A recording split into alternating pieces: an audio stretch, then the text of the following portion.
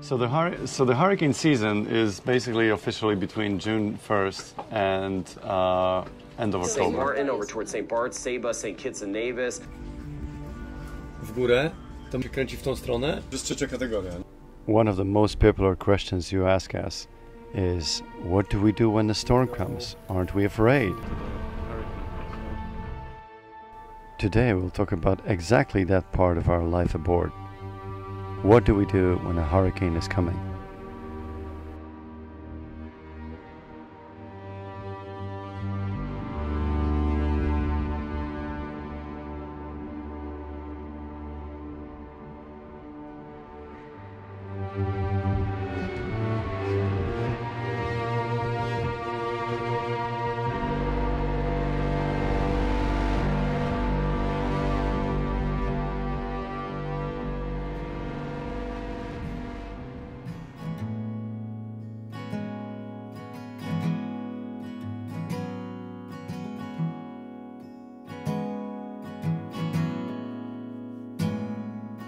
Good morning, guys. Good morning.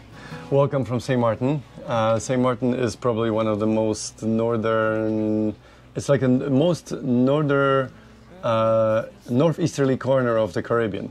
Uh, so, having said that, we're, we're for those of you who don't know, we're kind of in the crosshair of uh, hurricane paths, and the hurricane season officially started in the beginning of this season.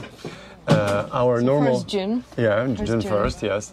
Our normal tactics, uh, if we're on board, is if we stay in the Caribbean, we just basically uh, watch the weather the whole time, and if there's anything suspicious showing up on the horizon, we just head south, way south, uh, to be safe. Um, if we don't stay on a boat, we simply take the boat somewhere completely outside of the hurricane zone. So that's our tactics. So uh, the first option, unfortunately, is just materializing now. Uh, the tropical storm named uh, Bret, Bret. started spinning day before yesterday. It got its name yesterday, so it became our daily bread.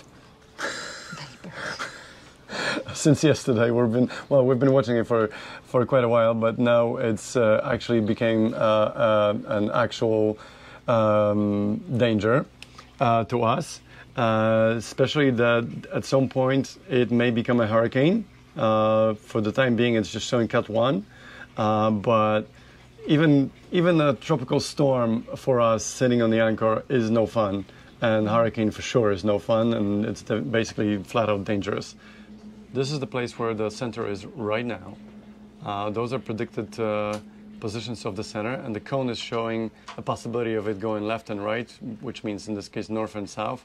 And at least the official version, which is based on quite a few models, is showing on average that it's, it's going to be somewhere in between Guadeloupe and uh, St. Vincent. So technically, we should be safe in St. Martin here because we're quite far north, right?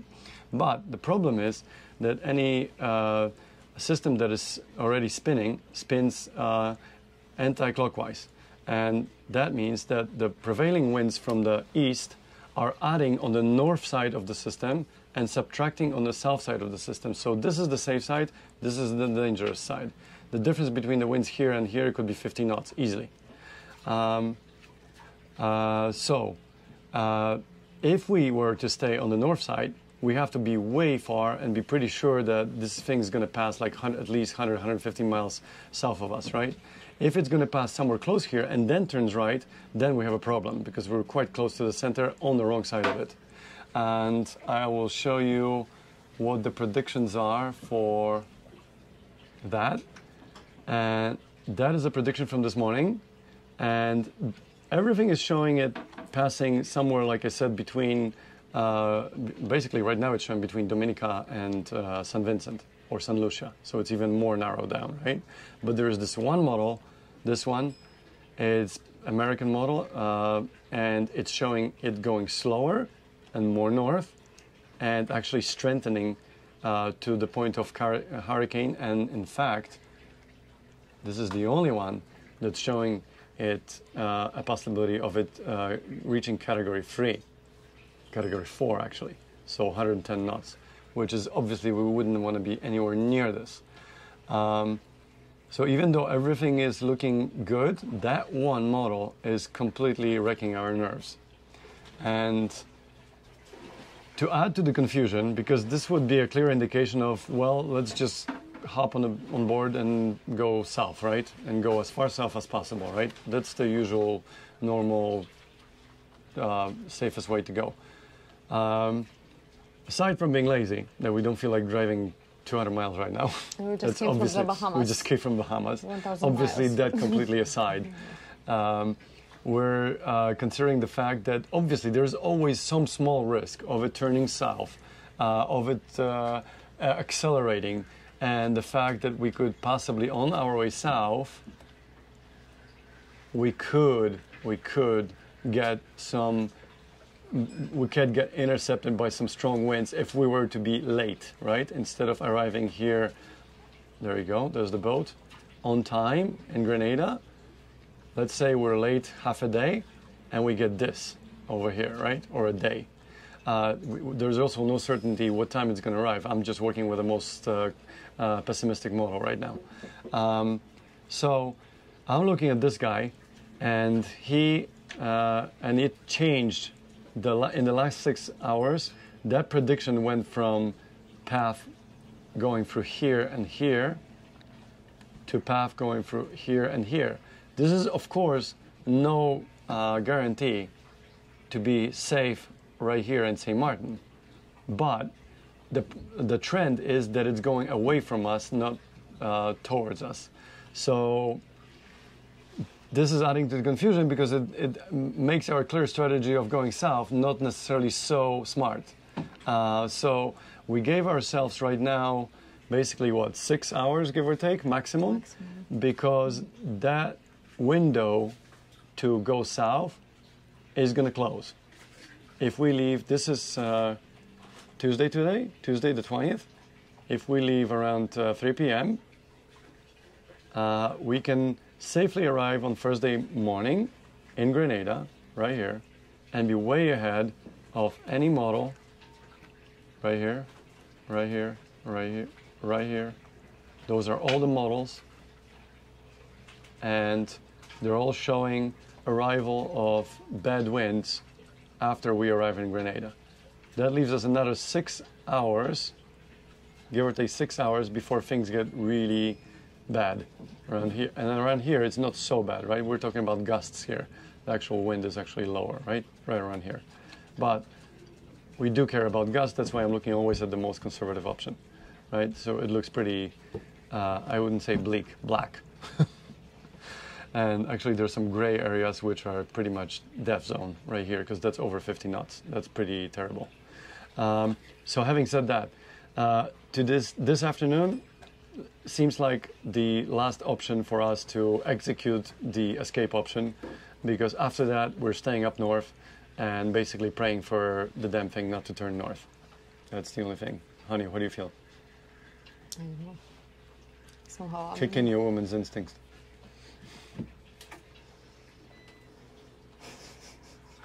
You don't feel like sailing, but you don't feel like I don't staying feel here like either. sailing at all, you know, Yeah. because we just came from the Bahamas and we've been alone on the boat, only with kids, and it was really tough uh, conditions for us. But now we have, but now we have adult friends on But board, they so it should be easier. been uh, at sea. But they're smart. We can teach them. yeah, and then you know, changing the plans is always like a going up from the comfort zone. Of course.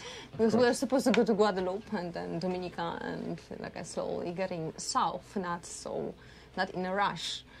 But Grenada is also a good plan. All right. I don't know. I'm afraid that the weather is gonna change on the way, and we're gonna catch bad wind on the way. You know, Mm-hmm. that's the problem. And uh, maybe there's a, a possibility that uh, it's gonna be, it's gonna go more south and then touches Grenada, but Grenada. But Then I we think can the- then we can always run more south. That's an option. Yeah. Yeah. And then soon enough after Grenada, we were basically outside of the hurricane zone completely. So we, So yeah, so we're still in a, progress the decisions uh, decision on the table. So all the options are on the table. We'll uh, give you guys an update in a few hours, and then hopefully it will be well, our mind will be made up, and hopefully that will be the safest option to go. All right. So the boat is ready. We're quite ready because Paul is ready, and maybe we we're gonna do a little provisioning. Um, so paperwork, and then we can go. paperwork and things that we can leave within four hours Yeah, maximum. Yeah, yeah. Because So- in this case, if we if we do choose to go, to the go. earlier the better. Yeah. The more the more safety bracket we have, Mm-hmm. the more padding. Okay. So that's the option. All right. Probably we'll go, but you will see. and we will see. For now, we're working with the option that we're going, so that we're ready in case if we want to pull the trigger. So, all right. Yeah. We'll see you soon.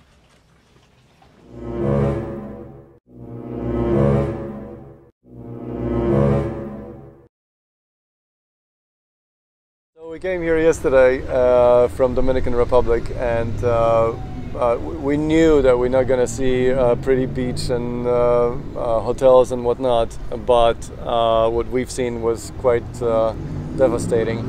Uh, the the houses are are gone. Some of them, I mean, the roofs definitely are gone, and uh, the boats flipped over on the on the side of the road, like you see. Uh, uh, behind us. We have Fritz here. Uh, he's our uh, local friend. He's uh, lived in St. Martin for many, many years, even though he's uh, originally from Holland. Um, he's also a local doctor, so he's been here on the scene and uh, just a few days after the hurricane. Was a lot of rain. The first People with no roofs, of course. The house. We're going to see. Uh, Here we're on a shore to see the the, buildings. I'm going to the water to watch diamonds dancing and gaze at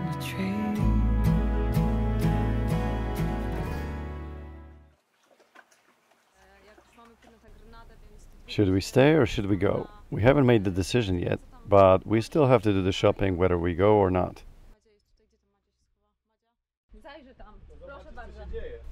Regardless of whether we stay in St. Martin or go to Grenada, I also have to replace the exhaust pipe. So here we go.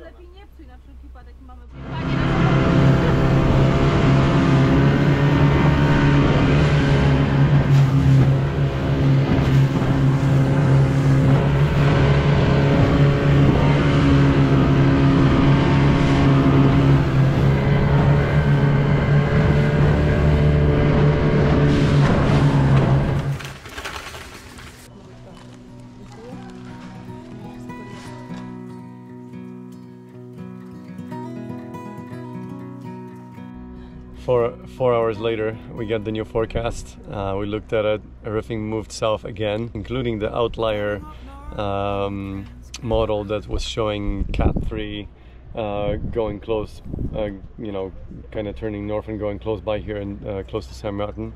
So we're feeling fairly confident that this is probably going to be the safest cour- course of action just to stay uh, without risking uh, meeting anything uh, mid ocean in case if something breaks or whatever.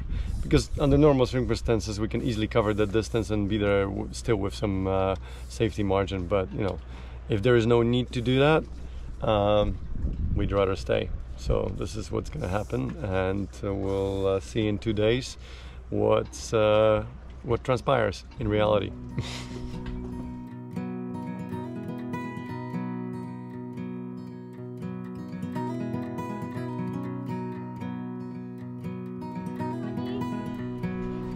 Jedzie Ayla! Ayla, Ayla! Driving up north.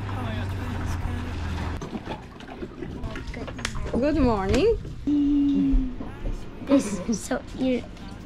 A, that's smart. Mmm, niam, niam. Co mamy tutaj? Wow, ale imprezka. Imprezka melonkowa, arbuzkowa. But it's my turn. No. I don't love me. Yes. No, I don't. But I. I'm going to get a um spoon. Spoon? There's a spoon. There you go. You did this. There you go. home of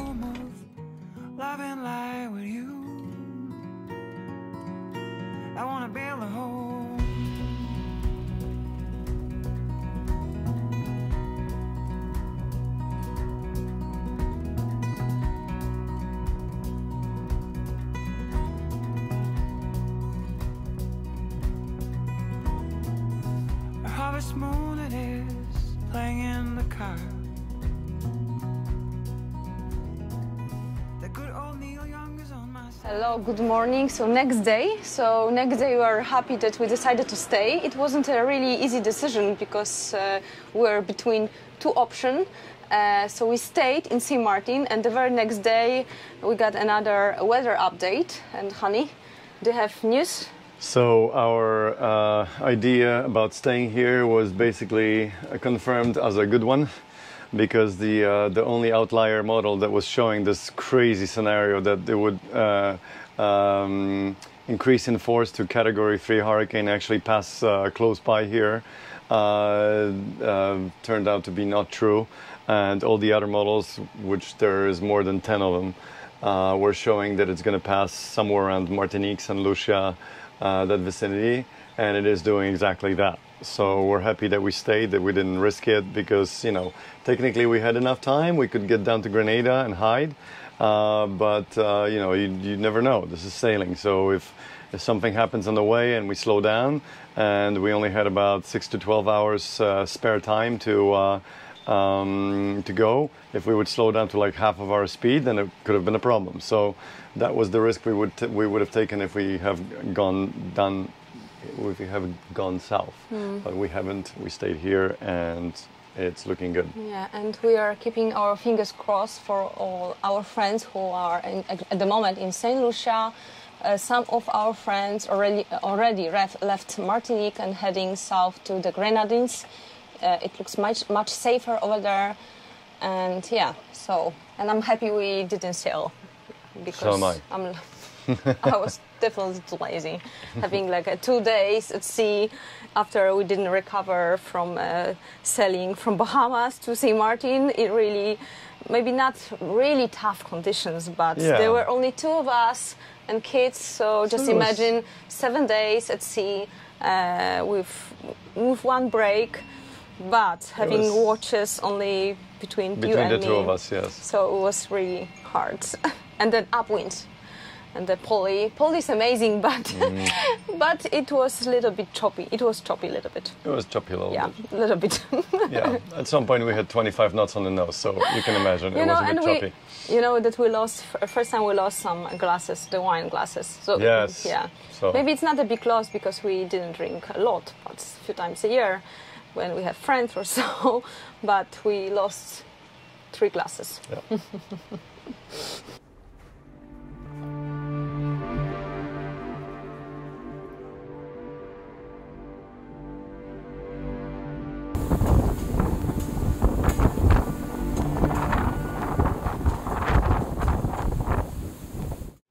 Hey guys, Hello. day after. so yes, our um, predictions were uh, have materialized. Uh, the only one outlying model um, from the American uh, Meteo Institute did not materialize, thank God, because it was the only one that totally wrecked our nerves because it was showing Cat 3 uh, hurricane basically 100 miles from us on the and we would be on the wrong side of it on the north side of it and that did not materialize. Every other model was showing the whole thing going down south and weakening and in fact it has never reached a hurricane force although we have some reports from our friends who are local that are indicating that there were actually gusts up to about 70 knots. So it was nevertheless quite uh, uh, frightening and and uh, and dangerous. So it was no joke uh, but it wasn't catastrophic in any way, uh, from uh, what I'm understanding right now. Um, and we were completely safe here up north. We were 300 miles away from the from the center, so effectively there was absolutely no difference in weather over here, other than a slight shift in wind. Um, but we have no clouds, no rain, um, no um, no um, big uptick in in wind uh, beyond normal trade winds. So. Yeah, so we're happy. It's big uh, weight off the shoulders. Uh, we weren't really keen on, on going down south because we were fresh after after coming from Bahamas, just the two of us, uh, 1,000 miles, you know, um, going upwind. It kind of kicks butt a bit. So we were a bit tired and we didn't feel like sailing, even though it looked like a very comfortable sailing because it would be a broad reach to reach um, um, for just two days, you know, with our friends aboard. So it would have been easier with watches to share. But nevertheless, it was nice to be able to stay and uh, and not even take up that slight risk of um, of uh, being intercepted by the hurricane uh, mid sea because obviously when you're doing the last minute escape uh, that crosses its path, you have to take into account the possibility of breaking down, something breaking down on the way and, and taking a hit on the speed. And, um, and then you could be closer than you wanted to uh, to the system. So, so there was obviously some slight risk of that. Uh, so yeah, so we're happy. And um, yeah, Bahamas. I know some of you may be like, "What are you talking about? Bahamas? There were no Bahamas yet." Yeah, this is a special edition. Special meaning that we're publishing it literally days after uh, after the situation has occurred, and after, days after we recorded it. Uh, so the next episodes are going to be basically coming back and showing you stuff that we haven't shown you yet since we left uh, Poland last uh, fall. And uh, yes, the boat tour, the new boat tour is coming up. We'll show you all the details of things that we've changed. Um, but we'll also show you a really crazy sailing across the North Sea, Baltic Sea, and uh, uh, Biscay Bay, and in the in North. Northern Atlantic, basically in the winter, which is a bit insane. Courageous and stupid. Uh, yeah, there's a fine line between courageous and stupid. Yeah, pretty much. On the way. So the hur- so the hurricane season is basically officially between June 1st and uh, end of October, give or take. Um, that doesn't guarantee 100% that there's nothing outside of it, obviously, but uh, there was one hurricane, I think, a few years ago in the middle of January, which basically everybody was like, what the heck? But in general, no. In, uh, in, in general, 99% of the time, it's only between June and uh, October, and only between, in the Western Atlantic, between about 10 degrees north and 30 degrees north. Uh, so basically, entire Caribbean, Bahamas, and a bit of uh, um, east uh, coast of U.S. is uh, subject to it. Uh, so there are a few ways that we have been either hiding or escaping the uh, the hurricane zone during the hurricane season in, the, in our last eight years aboard. Uh, right, eight years. Jeez. Um, we went to New York twice. We went to Suriname, to South America uh, twice. Uh, once we actually stayed in the hurricane zone. That was the only time that our, our insurance agreed to insure the boat during the hurricane season because we presented a hurricane plan for the marina in Dominican Republic where we left the boat. And in the end, uh, when the second hurricane was approaching in 2017, after the first one uh, wre- wreaked havoc across the Caribbean, uh, I jumped and uh, and uh, flew down to the to the boat, prepared it to sail away, and stayed only when I knew that the the center of the hurricane is going to pass about 100 miles north on the safe side of us, uh, which still produced almost 80 knot winds at one point, uh, but we were in a safe place and nothing really happened. But uh, yeah, the preparations were pretty crazy. I've I've had it uh, really well secured and uh, I scouted the area to make sure that there's nothing that can damage it when it goes flying and that kind of stuff. So in the end, it was fine. Unfortunately, I don't have a GoPro, so I can't go out with a camera outside. But uh, I'm gonna go. Let's see over there and place another another line uh, to uh, to our stern over here, and to the other stern over there and that's a really crazy line. It's an 18 ton uh, carbon line, so if that goes, we got a bigger problem. These are the lines I was just talking about. Really crazy one. This uh, the black one is a polyester, so it's not that strong, but the but the blue one is only 13 millimeters, but it's pure carbon and it's uh, 18 metric tons. So everything else is gonna break before this breaks. I don't know if you can see this, but uh, I guess the floating garbage is starting to appear and there's some uh, diesel all around us. Not good, but I guess it got pushed from somewhere by the wind. So anyway, I guess I'm gonna have to look out for for different floating things and try to push them away from the boat. Yeah. So, and I think during the COVID was the first time that we actually stayed aboard in the hurricane zone in the hurricane season, uh, staying in the southern Caribbean. Uh, so the it's in kind of an easy strategy because if anything shows up on the horizon and you know a few days ahead, um, then you basically run even more south. And if it still looks dangerous, you run even more south as to the point to exit the hurricane zone completely. And to my knowledge, there was no record of a hurricane ever reaching South uh, Suriname. So uh, I think we're safe over there. Um, so yeah, so you can run as far as as far as south uh, as Suriname, and if need be, we can still run even more south. So the idea is that if we do stay on board, we can kind of uh, uh, play it by ear, and and we don't really take unnecessary risk uh, by uh, staying in the in the Caribbean uh, to be to be mm, uh, uh, to put the boat in danger. So that's pretty much it for uh, for hurricane strategies. And this time, this time we did something completely uh, different. You know, uh, we waited until the moment where where it was uh, uh, decision time to whether we can still escape and go south and cross the projected path, uh, or do we stay up north? Are we do we have a certainty to uh, that the uh, that the eye is going to go way down south so that we are actually safe over here, and that worked out. I usually don't like to do that because that leaves you no options if the thing turns north.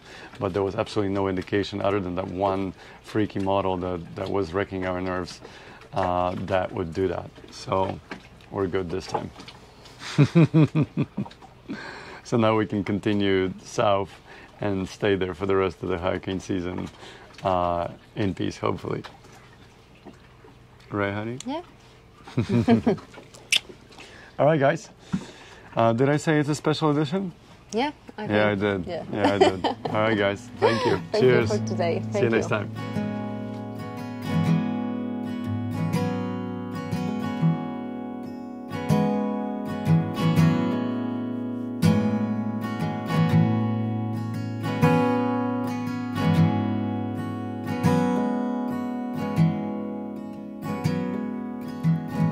Berlin still sleeping. Clouds on the ceiling. We arrow the naked streets. The old Turkish fellows, they are smoking their tobacco. And oh, what a perfume it brings.